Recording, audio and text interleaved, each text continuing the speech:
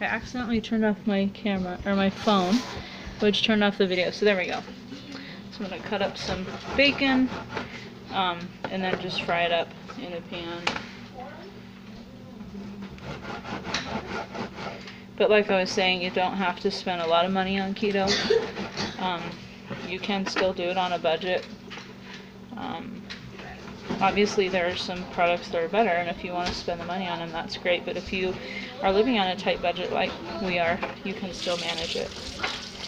So I picked the bad knife.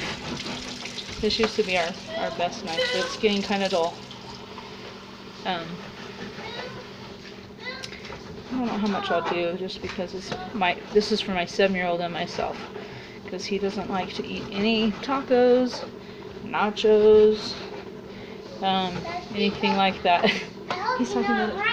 I know you're right there. There's nothing wrong with it. People can have certain pref- food preferences.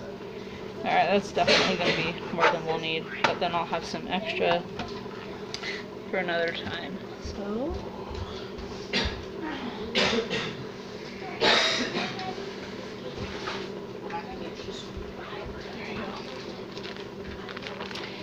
So you probably saw our NBA brackets on the wall over there. My family is very much into basketball. So they did the playoff brackets. Everyone did one. We all did really terrible. I don't think any of us got close to what actually has happened.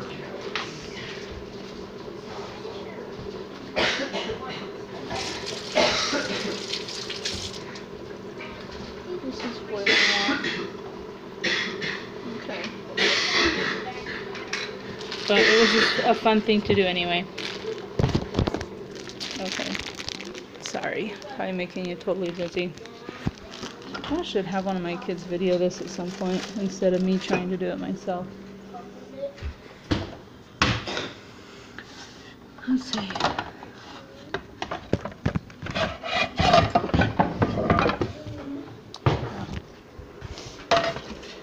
So get this going.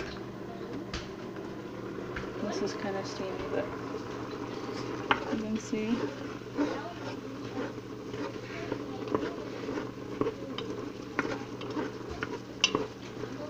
I don't actually feel that hungry, but I decided to go ahead and try this soup. I'm not sure how much I'll actually eat of it.